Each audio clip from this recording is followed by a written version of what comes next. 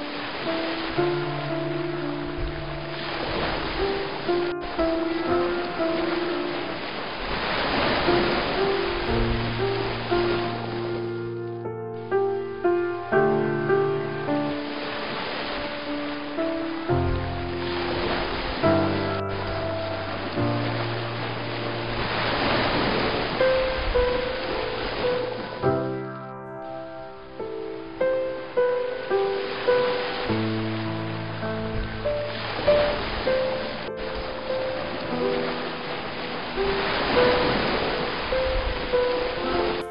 പ്രിയം നിറഞ്ഞവരെ മനുഷ്യവർഗത്തിന്റെ ബലഹീനതയ്ക്ക് ഈശോ മിശിഹ നിർദ്ദേശിച്ചു തന്നിരിക്കുന്ന വലിയ ഒരു ഔഷധമാണ് അനുരഞ്ജന കോ- കൂദാശ അഥവാ കുംഭസാരം എന്ന വലിയ കൂദാശ.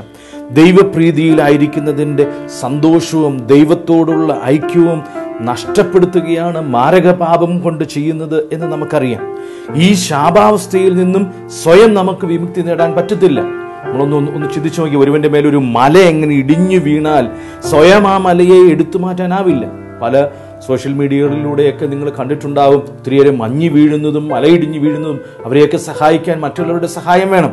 അങ്ങനെ മാരക പാപത്തിൽ ഉൾപ്പെടുന്നത് ഇതുപോലൊരു മല മനുഷ്യന്റെ മേൽ വന്നു പതിക്കുന്നത് പോലെയാ. അത്രയും ശക്തമായ മാരക പാപത്തിന്റെ കടി കാഠിന്യം കൊണ്ട്.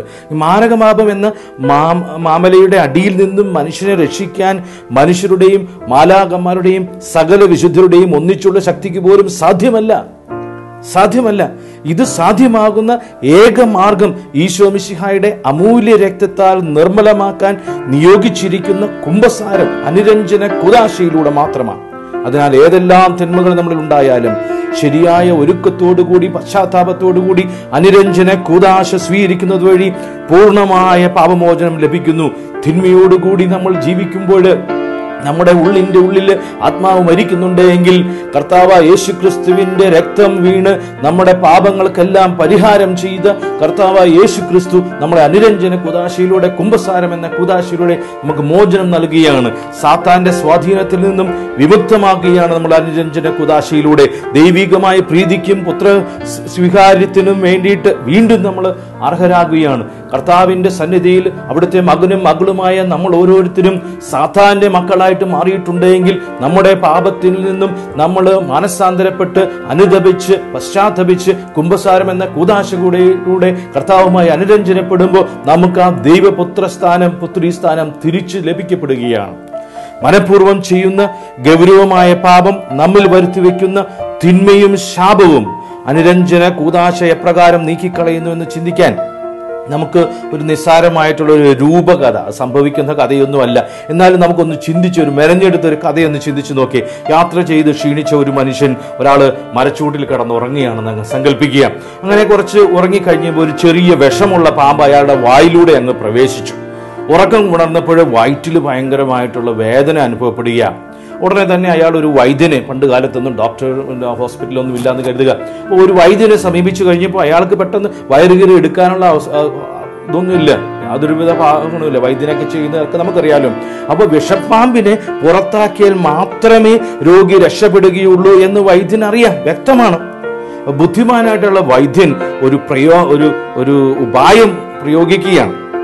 രോഗിയെ തല കീഴായിട്ട് കെട്ടിത്തൂക്കി വായ തുറന്നു പിടിക്കാൻ വേണ്ടിയിട്ട് രോഗിയോട് നിർദ്ദേശിച്ചു. വാക്ക് കീഴായിട്ട് ഒരു പാത്രത്തിൽ പാൽ വെച്ചു. അങ്ങനെ പാലിന്റെ ഗന്ധം പിടിച്ച് പാമ്പ് വായിലൂടെ പുറത്തു വന്ന് പാലിൽ വീണു. രോഗിക്ക് വയറിനൊക്കെ ആശ്വാസവുമായി രോഗി രക്ഷപ്പെട്ടു. ഒരു ഉന്നത കുലജാതൻ നിങ്ങളൊന്ന് ചിന്തിച്ചു നോക്കി. വലിയ കുടുംബത്തിൽ പടർന്ന് ഒരു ഉന്നത കുലജാതൻ നീച നീച ജാതിക്കാരന് അടിമയായി തീർന്നു എന്ന് കരുതുക. അങ്ങനെ സംഭവിക്കുക ഏറ്റവും വലിയ ശോചനീയ അവസ്ഥയാണ് നമുക്കറിയാം. അങ്ങനെ ഉന്നത കുലജാതനായിട്ടുള്ള ഒരു മനുഷ്യൻ ഒരു അടിമയ്ക്ക് അടിമയായി തീരുന്ന എന്ന് കരുതുക. ഇവനെ ഈ ദാസ്യത്തിൽ നിന്നും മറ്റൊരുവൻ മോചിക്കുമ്പോൾ മോചിപ്പിക്കുമ്പോൾ വലിയ സന്തോഷവും വിശേഷ നന്മകളും ലഭിക്കുകയാണ് അവന്. ഇത് തന്നെയാണ് അനുരഞ്ജന കൂതാശ നമ്മിൽ നിർവഹിക്കുന്നത്. കുംഭസാരം എന്ന കൂതാശ നമ്മൾ നിർവഹിക്കുന്നു അത് തന്നെയാണ്. ദൈവിക പ്രീതിയിലായിരിക്കുമ്പോൾ പുത്രി സ്ഥാനം എന്ന ഉന്നതമായിട്ടുള്ള സ്ഥാനം നമുക്കുണ്ട്. അങ്ങനെ മോശത്തിന് അവകാശിയാണെന്നുള്ള ഉറപ്പുണ്ട്. ദൈവപുത്രനായി പുത്രിയായിട്ട് ഇരിക്കുന്ന സമയത്ത്. എന്നാൽ മാരക പാപം വഴി ഇതെല്ലാം നഷ്ടമാകുക നമ്മൾ അടിമയായി പോകുക പിശാജിന്റെ ദാസ്യത്തിൽ നമ്മൾ ഉൾപ്പെടുകയാണ്. ഈ ദാസ്യത്തിൽ നിന്നുള്ള മോചനമാണ് കുംഭസാരം എന്ന കൂതാശ പ്രദാനം ചെയ്യുന്ന ഏറ്റവും വലിയ നന്മ. ഏറ്റവും വലിയ നന്മ. നമ്മളെ പ്രിയപുത്രനും പുത്രിയുമാക്കി ദൈവത്തിന്റെ പ്രിയപുത്രനും പുത്രിയുമാക്കി മാറ്റുന്ന ഏറ്റവും മനോഹരമായ ഒരു കൂതാശയാണ് കുംഭസാരം എന്ന കൂതാശ. പലപ്പോഴും കുംഭസാരം എന്ന കൂതാശയെ അവഹേളിക്കുന്ന രീതിയിൽ പലരും സംസാരിക്കുന്നത് ഞാൻ കേട്ടിട്ടുണ്ട്. ട്രെൻഡ് സുനകദോസ് കുംഭസാരത്തെക്കുറിച്ച് പറയുന്നത് ഇപ്രകാരമാണ്. രക്ഷ സ്വീകരിക്കുന്നതിന് ജ്ഞാനസ്നാനം ആവശ്യമായിരിക്കുന്നത് പോലെ തന്നെയാണ് മാരക പാപത്തിൽ ഉൾപ്പെട്ടവർക്ക് അനുരഞ്ജന കൂതാശ. വിശുദ്ധ ജെറോം ഇതിനെ രക്ഷയുടെ രണ്ടാമത്തെ പലക എന്ന് വിശേഷിപ്പിക്കുന്നു. കപ്പൽ അപകടത്തിൽ നമുക്ക് ലഭിക്കുന്ന ഒരു പലകയുണ്ടല്ലോ. അതിനെ രണ്ടാമത്തെ അവരുടെ ജീവൻ രക്ഷിക്കുവാൻ ഉതകുന്നത് പോലെ കപ്പൽ അപകടത്തിൽപ്പെട്ടവർക്ക് ഒരു പലക ജീവൻ രക്ഷിക്കുവാൻ ഉതകുന്നത് പോലെ ഇതുപോലെ തന്നെ ജ്ഞാനസ്നാനത്തിൽ ലഭിച്ച ദൈവിക ദാനങ്ങൾ നശിപ്പിക്കുന്നവർക്ക് അനുരഞ്ജന കൂതാശ എന്ന പലക ലഭിച്ചില്ലെങ്കിൽ രക്ഷ നമ്മുടെ അപകടത്തിലാണ് എന്ന് ഓർമ്മിപ്പിക്കുകയാണ് ട്രെൻഡ് സുനദോസ്. ഹെബ്രായർക്കെഴുതിയ ലേഖനം ഒൻപതാം അധ്യായം ഇരുപത്തിയേഴാമത്തെ തിരുവചനം പറയുന്നു മനുഷ്യൻ ഒരു പ്രാവശ്യം മരിക്കണം. നമ്മളൊക്കെ നമ്മൾ മരണ കർമ്മങ്ങളിലൊക്കെ പങ്കെടുക്കുമ്പോൾ നമുക്കറിയാം അല്ലെങ്കിൽ കാനന നമസ്കാരിക യാമ പ്രാർത്ഥനകൾ ചെല്ലുമ്പോൾ നമ്മൾ പാടാറുണ്ട് അസ്ഥിരമല്ലോ ഭുവനവുമതിലെ ജടികാശകളും നീർപ്പോളകൾ പോലെല്ലാമെല്ലാം മാഞ്ഞടിയുന്നു. ഇന്നലെയുള്ളൂ ഇന്നിവിടില്ല ഇനി വരികില്ല യാത്രക്കാരാ മുന്നിലിതാ നിൻ ഖബറിടമല്ലോ. പറുദീസ ഞാൻ കണ്ടൊരു ദിനമെൻ ഭാവന തന്നിൽ. എത്ര വിശിഷ്ടം സുഖസമ്പുഷ്ടം ദർശന സുഭഗം. അസ്ഥിരമല്ലോ ഭുവനവും അതിലെ ജടികാശകളും നീർപ്പോളകൾ പോൽ എല്ലാം എല്ലാം മാഞ്ഞടിയുന്നു. ഈ ലോകവും ഈ ലോക സുഖങ്ങളും എല്ലാം നീർപ്പോളകൾ പോലെ പൊട്ടി തകരുന്നതാണ് എന്ന് മഴത്തുള്ളി വീഴുന്ന നീർപ്പോളകൾ ഉണ്ടാക്കുന്നത് നിമിഷ നേരം കൊണ്ട് പൊട്ടി തകരുന്നത് പോലെ നമ്മൾ ഈ ലോകത്തിൽ ഉണ്ടാക്കിയിരുന്ന എല്ലാ ജടികളും ജടിക സമ്പത്തുകളും എല്ലാ സുഖങ്ങളും നശിച്ചു പോകുന്നതാണെന്നുള്ള ബോധ്യമാണ് നമ്മുടെ ജീവിതത്തിൽ. ഈ ലോകത്തിൽ ജീവിക്കുന്നതെല്ലാം മരിക്കണം ഒരിക്കൽ എന്ന് ഹെബ്രായർക്ക് എഴുതിയ ലേഖനത്തിൽ ഒൻപതാമത്തെ അധ്യായത്തിൽ ഇരുപത്തിയേഴാമത്തെ തിരുവ നമ്മൾ വായിക്കുന്ന നീ കരുതിയിരിക്കുന്ന ദിവസം അറിയാത്ത നേരത്ത് കരുതിയിരിക്കുന്നുണ്ടാവില്ല.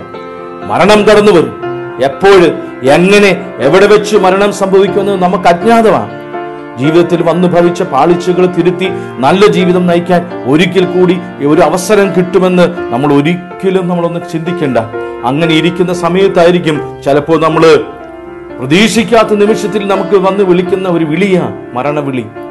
മങ്ങിയൊരന്തി വെളിച്ചത്തിൽ ചെന്തി പോലൊരു മാലാക വിണ്ണിൽ നിന്നൻ മരണത്തിൻ സന്ദേശവുമായി വന്നരുകിൽ നമ്മൾ സുഖിച്ചിരിക്കുന്ന സമയത്തായിരിക്കും നമ്മുടെ മരണവാർത്തയുമായിട്ട് മാലാഖ നമ്മുടെ മുമ്പിൽ എത്തുന്നത് പക്ഷേ നമ്മൾ ആ മരണവാർത്ത അത്ര സുഖത്തോടു കൂടി നമ്മൾ സ്വീകരിക്കുകയൊന്നുമില്ല കാരണം നമ്മൾ ഒരുങ്ങിയിരിക്കുന്ന കത്തോലിക്കുന്ന മരണത്തെ ഭീതിയില്ല. ദൈവമായിട്ട് അടുത്തിരിക്കുന്ന അനുരഞ്ജനത്തിലിരിക്കുന്ന അനുദിനം അനുദപിച്ച് ദൈവത്തിന്റെ വലിയ സ്നേഹത്തിലെ പുത്രി പുത്രി സ്ഥാനത്ത് പുത്ര സ്ഥാനത്തിരിക്കുന്ന ഒരു കത്തോലിക്കിന് ഒരു ദൈവ പൈതലിന് ഒരിക്കലും മരണത്തെ പേടിയില്ല. കാരണം ദൈവസന്നിധിയിലേക്കുള്ള തിരിച്ചു പോക എന്റെ എന്റെ സ്വന്തം നാട്ടിലേക്കുള്ള തിരിച്ചു പോക്കാണത് കേട്ടു നടങ്ങി നടുങ്ങി മനമിട ഇളകി പേടി വളർന്ന സ്വരമിടറി മിഴുനീർ തൂകി ഉണർത്തിച്ചു ഞാനൊരു നിമിഷമൊരുങ്ങട്ടെ. ദൂതൻ പ്രാർത്ഥന കേട്ടില്ല സമയം തെല്ലും തന്നില്ല. മൃതിയുടെ പിടിയിലമർന്നു ഞാൻ നാഥ നീതാൻ അവലംബം നമ്മളെല്ലാം അറിയുന്ന ഒരു കാര്യമാണ് നമ്മുടെയൊക്കെ ജീവിതത്തിൽ നിമിഷങ്ങൾക്കുള്ളിൽ ചിലപ്പോൾ നമ്മുടെ ജീവന്റെ അവസാനമാണെന്ന തിരിച്ചറിവ് നമ്മുടെ ജീവിതത്തിലെ ഒത്തിരിയേറെ മാറ്റങ്ങൾ വരുത്തും.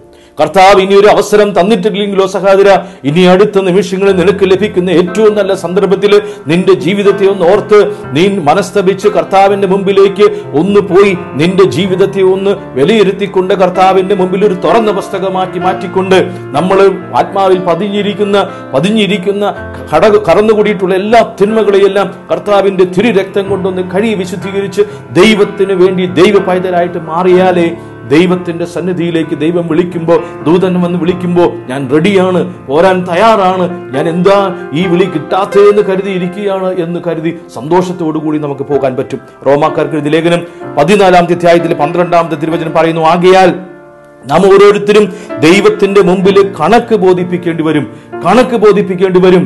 നമ്മൾ നമ്മളൊന്ന് ചിന്തിക്കാൻ നല്ലവ ശൂന്യമായിട്ടുള്ള കരങ്ങളോടെ ഏകനായി നഗ്നനായി ഇവിടെ നിന്നും നമ്മൾ കടന്നു പോകുന്ന അവസരങ്ങൾ എന്നാൽ നാം ഈ ലോകത്തിലേക്ക് വന്നപ്പോൾ ഒന്നും കൊണ്ടുവന്നിട്ടില്ല. നഗ്നനായിട്ട് ശൂന്യമായ കരങ്ങളിലൂടെയാണ് നമ്മൾ കരങ്ങളോടുകൂടിയാ വന്നേ. ഈ ലോകത്തിൽ എങ്ങനെ വന്നു? അതുപോലെ തന്നെ നമ്മൾ തിരിച്ചു പോകും. ഒന്നും കൂടെ കൊണ്ടുപോകുന്നില്ല. യശയുടെ പുസ്തകത്തിൽ പതിനാലാമത്തെ അധ്യായത്തിൽ പതിനൊന്നാമത്തെ തിരുവചനം പറയുന്നുണ്ട് അല്ലയോ മണ്ണിന്റെ പുത്ര കീട കീടങ്ങളാണ് നിന്റെ കിടക്ക. കീടങ്ങൾ പുഴുക്കളാണ് നിന്റെ പുതപ്പ് എന്ന് സിമിത്തേരിയിലൂടെയൊക്കെ നമ്മൾ നടന്നു പോകുമ്പോൾ അടിയിലിരുന്ന് പുഴുക്കൾ പറയും ഓ എന്റെ ഭക്ഷണം നല്ലതുപോലെ വരുന്നുണ്ട്. പുഴുക്കൾ നിന്റെ ശരീരം കാത്തിരിക്കുക ഇപ്പോൾ നിനക്കുള്ളതിൽ നിന്ന് ഒരു നല്ല വസ്ത്രം പഴയതിൽ നിന്ന് നല്ലൊരു വസ്ത്രം നിന്നെ ധരിപ്പിച്ചേക്കാം. ബാക്കിയുള്ളതെല്ലാം നീ ഉപേക്ഷിച്ചേ പറ്റൂ. ഒന്നും യാതൊന്നും നീ കൊണ്ടുപോകാനില്ല. ഇത് നീ മനസ്സിലാക്കുന്നുണ്ടോ സഹോദര സഹോദരി? നമ്മൾ ഈ ലോകത്തിലേക്ക് നഗ്നനായി ഒന്നുമില്ലാത്ത ശൂന്യാവസ്ഥയിൽ വന്നതുപോലെ തന്നെ തിരിച്ചു പോകും. ഇപ്പോൾ നീ ഇഷ്ടപ്പെടുന്നതും ആരും തൊടാൻ പോലും ഇഷ്ടപ്പെടാത്ത അനുവദിക്കാതെ നീ കാത്തു സൂക്ഷിക്കുന്നതുമായ വസ്തുക്കളൊന്നും നിനക്ക് കൊണ്ടുപോകാനാവില്ല. ആ അന്ത്യ നിമിഷത്തിൽ ബലമായി ഉപേക്ഷിക്കേണ്ടി വരുന്നവനെയെല്ലാം ഇപ്പോൾ തന്നെ കർത്താവിന്റെ പാദത്തെങ്കിൽ സമർപ്പിക്കുക. മരണം വരുമൊരു നാൾ ഓർക്കുക മർത്യാനി. കൂടെ പോരും നിൻ ജീവിത ചെയ്തികളും സൽകൃത്യങ്ങൾ ചെയ്യുക നീ. അലസത കൂടാതെ. പ്രിയപ്പെട്ട സഹോദര സഹോദരി നമ്മുടെയൊക്കെ ജീവിതത്തിന്റെ ഒരു ജീവിത യാത്രയിൽ കർത്താവിന്റെ സന്നിധിയിലേക്കുള്ള ജീവിത യാത്രയിൽ നമ്മൾ ജീവിച്ചു തീർത്തിട്ടില്ല തീർക്കുന്ന വഴികളിലൂടെ ഒന്ന് കടന്നു പോകുമ്പോൾ നമ്മളൊന്ന് ചിന്തിക്കേണ്ട ഒരു അവസരമാണ്. മരണം വരും ഒരു നാൾ. നമ്മൾ ഓരോ ദിവസവും നമ്മുടെ അന്ത്യത്തെക്കുറിച്ച് ജീവിക്കണമെങ്കിൽ നീ പാപം ചെയ്യുകയില്ല എന്ന് പ്രഭാഷകനിലൂടെ പറയുന്നുണ്ട്. നിന്റെ ജീവിതത്തിലെ അന്ത്യവിധിയെക്കുറിച്ച് നീ ചിന്തിക്കണം. നമ്മളെല്ലാം മനോഹരമായിട്ടുള്ള പെട്ടിയിൽ ചിലപ്പോൾ തേക്ക് പെട്ടിയായിരിക്കും നമുക്ക് വാങ്ങിച്ചിരുന്നേ. നമ്മുടെ കുടുംബത്തിൽ ഒത്തിരി സമ്പത്തുണ്ടെങ്കിൽ നമ്മൾ ഒത്തിരിയേറെ സമ്പത്തുകൾ ഉണ്ടാക്കി വെച്ചിട്ടുണ്ടെങ്കിൽ നമുക്ക് ചിലപ്പോൾ തേക്കിന്റെ പെട്ടി കിട്ടും. എന്ത് കാര്യം പുഴുക്കൾക്ക് തിന്നാനോ മണ്ണിന് ചതലിന് അരിച്ചു തിന്നാനോ? ഈ ജീവിതത്തിൽ നമ്മൾ കൊന്നുകൂട്ടിയ എല്ലാ സമ്പത്തുകളെ കൊണ്ടും നമ്മൾ പണം കൊടുത്തും സുഖിച്ചും സുഖി സുഖിപ്പിച്ചതുമായിട്ടുള്ള നമ്മുടെ ശരീരത്തിന്റെ മുകളിൽ ഒരു കൈയൊക്കെ കൂട്ടിപ്പിടിച്ച് ഒരു കുരിശും വെച്ച് മൂക്കിൽ പഞ്ഞിയും വെച്ച് ഷൂ മണിയിപ്പിച്ച് കുറെ പൂക്കളും നമ്മുടെ മേലിൽ ഉണ്ടാക്കി വെച്ചിട്ട് ആ ശവമഞ്ചത്തിൽ കുറെ പേരൊക്കെ കൂടി ചിലർ കരഞ്ഞെന്ന് വരും ചിലർ കരഞ്ഞില്ല എന്ന് വരും. നമ്മളെ എടുത്തുകൊണ്ട് പണമുണ്ട വീടുകളിലാണെങ്കിൽ ഒത്തിരിയേറെ പണമുള്ള വീടുകളിൽ കുറെ അച്ഛന്മാരെയൊക്കെ കൂട്ടി കുറെ സിസ്റ്റേഴ്സിനെ കൂട്ടി നമുക്കൊക്കെ വലിയ അന്ത്യോപചാരങ്ങളൊക്കെ അർപ്പിച്ച് ശവസംസ്കാരമൊക്കെ നടത്തി പള്ളിയിൽ നിന്നും എടുത്ത് സിമിത്തേരിയിൽ കൊണ്ടുവച്ച് ഒരു പിടി മണ്ണുമിട്ടച്ച് അവർ തിരിഞ്ഞു നടക്കും. പിന്നെ നീയും ദൈവവും മാത്രമേ ഉള്ളൂ. സിമിത്തേരിയിൽ നീ മണ്ണിട്ട് മൂടപ്പെടും. പിന്നെ നീയും ദൈവവും മാത്രമേ ഉള്ളൂ. മറന്നു പോയേക്കരുത് ഒരു ദിവസം പോലും മറന്നു പോയേക്കരുത് അവിടെ നമ്മൾ പറയേണ്ടി വരും വിടവാങ്ങുന്നേൻ നശ്വരമുലകിൽ വിടുതി എനിക്കായി നൽകിയ വസതി. പരിശുദ്ധന്മാർ പരമാനന്ദം നുകരുമിടത്തിൽ പോകുന്നു ഞാൻ. ആ ഒരു അവസ്ഥയുണ്ടല്ലോ. നമ്മൾ തനിച്ചാകുന്ന ഒരവസ്ഥ. സ്വർഗത്തിലേക്കുള്ള യാത്ര നമ്മൾ തനിച്ചാണ്. ദൈവത്തിന്റെ മുമ്പിൽ നിൽക്കുന്നത് തനിച്ചാണെന്നുള്ള ചിന്ത നമ്മളെ ഒരിക്കലും അത് മറന്നുപോകാതെ തന്നെ സൂക്ഷിക്കേണ്ട ഒരു ചിന്തയാണ്. മോശം പ്രാപിക്കുവാന് ഒന്നാമത്തെ തടസ്സം എന്താണെന്നറിയാമോ? ലൗകിക വസ്തുക്കളോടുള്ള മമതയാണ് നമ്മുടേത്. ലൗകിക വസ്തുക്കളോടുള്ള മമത. മരണചിന്ത പുലർത്തുന്നത് ഈ തടസ്സം നീക്കാനുള്ള ഉപാധിയാണ്. നമുക്ക് പലപ്പോഴും ഈ ലൗകികമായിട്ടുള്ള സമ്പത്തുകളോടുള്ള എല്ലാ സുഖങ്ങളും സമ്പത്തിനോടുമുള്ള മമത ലൗകികമായിട്ടുള്ള എല്ലാത്തിനോടും സംവിധ ഇതെല്ലാം നശിച്ച് മണ്ണോട് മണ്ണ് ചേരാനുള്ളതാണെന്നുള്ള ഒരു ചിന്ത നമ്മളെ ദൈവസന്നിധിയിലേക്ക്